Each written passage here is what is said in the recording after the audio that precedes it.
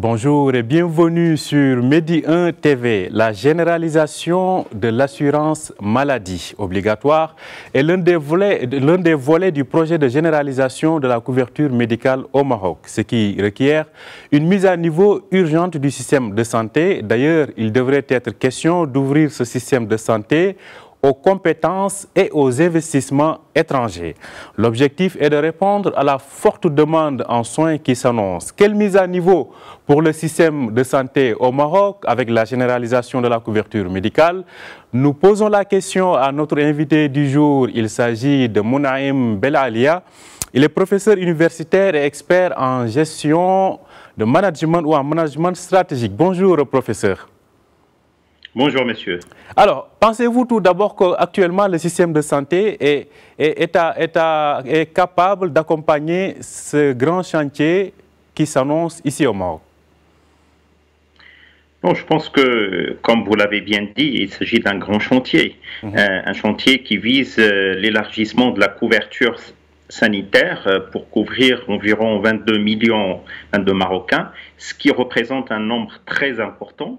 Et bien évidemment, nous avions l'expérience euh, du, du RAMED euh, qui a montré que le système santé marocain n'était pas prêt pour prendre en charge tous les citoyens qui bénéficiaient ben, de ce régime. De ce fait-là, je pense qu'il s'agit d'une réforme profonde qu'il faut mettre en place. À ce titre-là, il faut revenir au discours de Sa Majesté le Roi en 2018, euh, qui a pointé euh, des défaillances du système de santé national et qui a, euh, qui a en fait exhorté à mettre en place une réforme profonde ben, de ce système. cela dit, euh, s'agissant du système de santé, selon vous, quelles sont euh, les réformes à engager pour euh, le permettre ou lui permettre d'accompagner ce chantier de généralisation de la couverture sociale? Oui, euh, si l'on parle d'une réforme profonde du système de santé, il s'agit d'une réforme qui doit partir des défaillances, euh, des points faibles de notre système de santé aujourd'hui. Euh, ces points faibles, si l'on veut les résumer, ils se déclinent premièrement dans le volet ressources humaines. On sait tous que euh, les ressources humaines constituent un problème euh, très important pour le système de santé national, à la fois sur le plan ben, quantitatif. Je rappelle que euh, aujourd'hui le Maroc dispose pratiquement de 16,5 professionnels de santé pour 10 000 citoyens, ce qui représente un nombre en quelque sorte relativement faible par rapport aux préconisations de l'OMS qui vont jusqu'à 45 professionnels de santé pour 10 000 citoyens. Donc, il y a un besoin important en ressources humaines qui se chiffre aujourd'hui à environ 100 000 professionnels de santé avec environ 32 000 médecins. Il reste ben, pour les infirmiers et pour les techniciens. Ça, c'est très important. donc, il faut qu'on trouve les solutions pour pouvoir augmenter le nombre. Le nombre. Deuxièmement, il faut aussi qu'on cherche à augmenter les qualifications et les expertises par la formation, par l'accompagnement et aussi euh, augmenter la motivation des ressources humaines pour euh, euh, accroître les performances du système de santé national. Mmh mmh deuxième volet, c'est l'articulation du secteur public avec le secteur privé.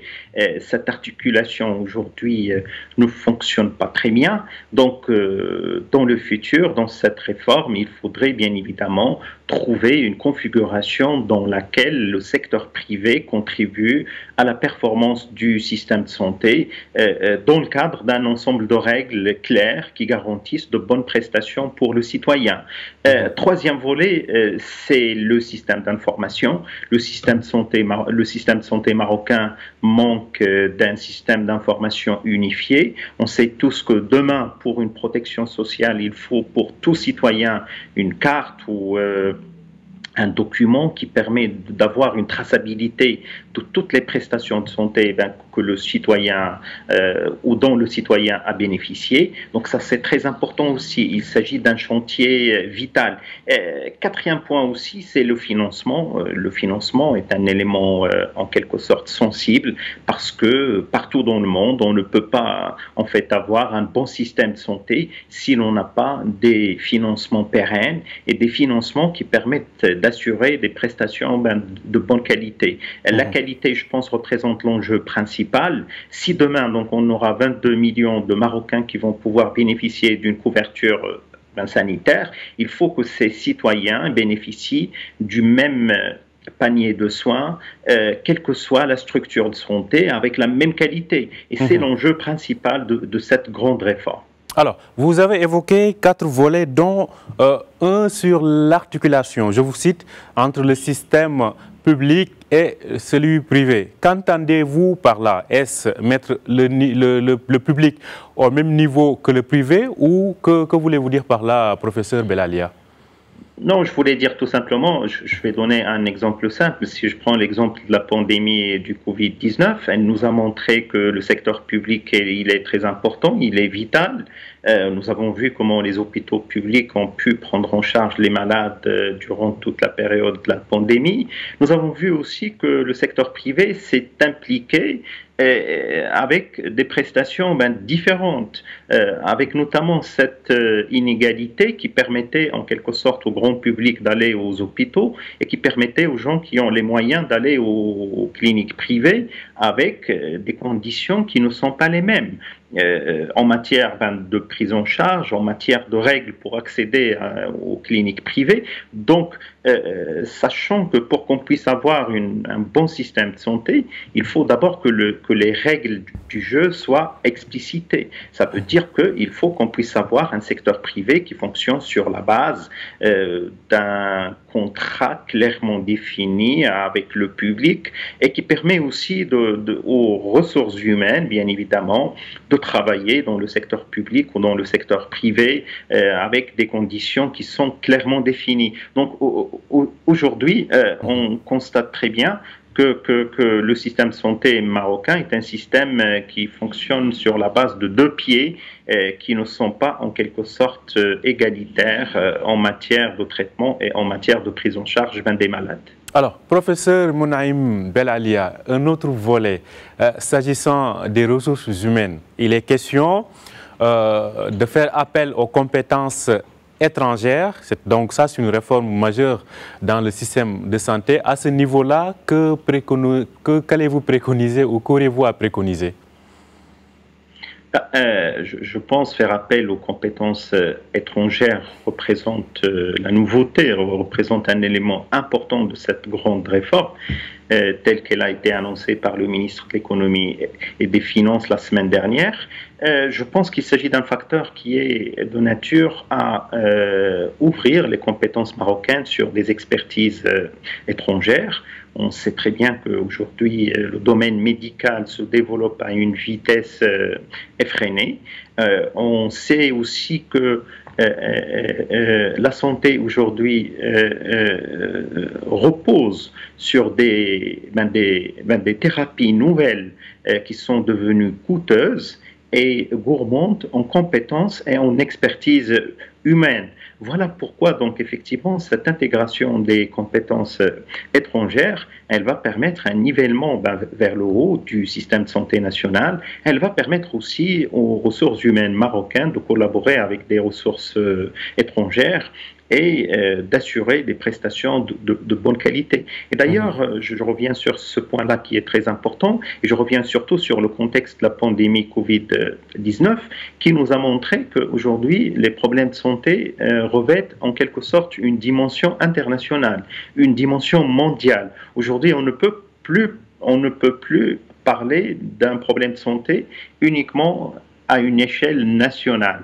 Euh, euh, voilà pourquoi euh, on a besoin d'une expertise mondiale, on a besoin d'une connaissance aussi en matière de santé qui est en fait internationale et je pense que cette mesure, elle mhm. va permettre en quelque sorte une amélioration des compétences ben, dans le domaine. Mhm. Alors, s'agissant maintenant des investissements étrangers, euh, selon vous, euh, dans quelle filière spécifique a-t-on le plus aujourd'hui besoin euh, de ces investissements-là? Ben, comme j'ai dit aujourd'hui, le domaine médical repose de plus en plus sur des, ben, des thérapies nouvelles, coûteuses, ce qui fait que des systèmes de santé qui ont des revenus limités ne peuvent pas aujourd'hui garantir aux citoyens l'accès à toutes les thérapies euh, médicales. Euh, je cite euh, l'oncologie, je cite quelques domaines de dans la pédiatrie aussi, euh, particulièrement euh, la chirurgie cardiaque. tous ces domaines-là représentent des domaines spécifiques. Je, peux aussi citer l'exemple des implantations aussi. ces domaines-là représentent des domaines qui nécessitent une expertise et qui nécessitent aussi des investissements très importants en infrastructure et en technologie et en technologie euh, euh, en technologie médicale. Euh, voilà pourquoi les investissements étrangers vont pouvoir être une valeur ajoutée pour le système de santé national, parce que si je, si je reviens aux investissements actuels, le budget du ministère de la Santé est un budget aujourd'hui qui ne dépasse pas les 20 milliards dirhams, avec environ 3, 3,3 milliards réservés aux investissements qui ne sont pas consommés dans leur euh, globalité. Si l'on rajoute un peu des investissements dans le secteur privé qui reste quand même euh, timide, euh, le secteur de santé marocain aujourd'hui ne bénéficie pas d'investissements importants qui lui permettent euh, un décollage et qui lui permettent en quelque sorte un saut qualitatif mhm. pour une performance nouvelle. Voilà mhm. pourquoi je pense que l'ouverture de la porte pour les investissements étrangers, elle va permettre effectivement un apport positif pour, pour le système de santé national. Mhm. Alors, professeur euh, Mounaïm Belalia, je rappelle que dans le cadre donc de cette généralisation de l'assurance maladie, l'objectif est d'offrir euh, euh, aux, nouveaux adhérents, en tout cas, les mêmes prestations que celles dont bénéficient les salariés actuellement dans le privé. Donc, ce qui veut dire qu'avec ces investissements étrangers euh, attendus, euh, on risque de voir plus d'implication ou bien une, euh, plus d'investissement dans le secteur privé. Est-ce que cela, à terme, ne conduira pas, d'ailleurs même dans l'immédiat, à un renchérissement des coûts des prestations médicales? Non, lorsqu'on parle effectivement ouvrir la voie au secteur privé, tout court, comme mesure, comme décision qui va s'imposer, sans pouvoir mettre en place les mesures d'accompagnement qui garantissent une harmonie, une articulation euh, euh, entre les deux secteurs, bien évidemment, elle, pourra amener à des résultats de ce type-là.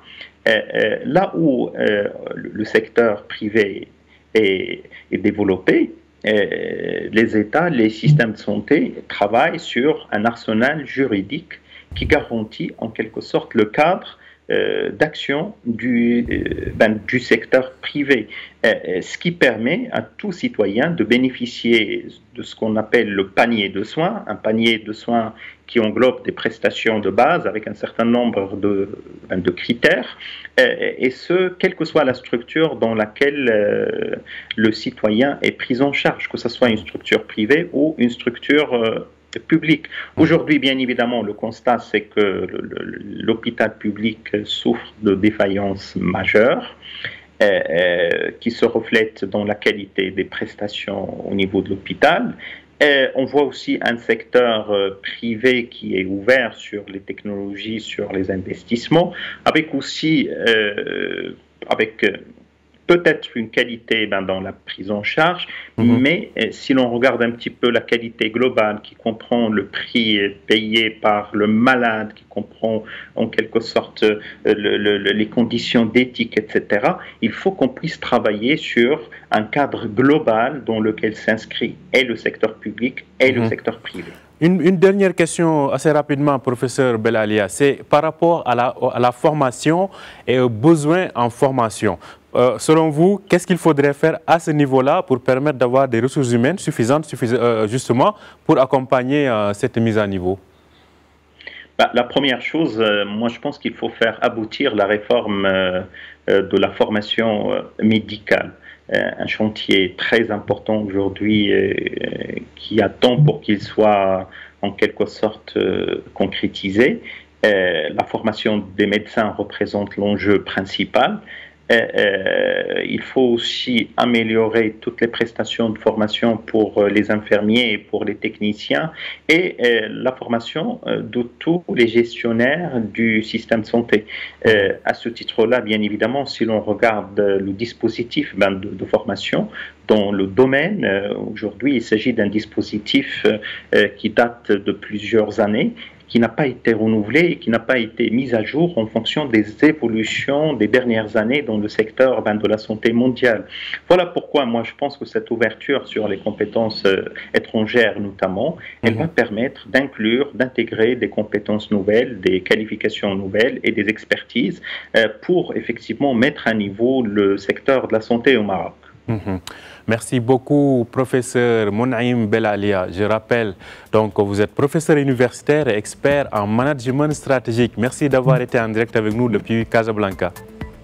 Merci à vous. Merci. Merci à vous aussi de nous avoir suivis. Je rappelle que vous pouvez retrouver cet entretien sur notre site www.medianews.com et sur notre application. Très bonne journée et très bon début de semaine à tous et à toutes.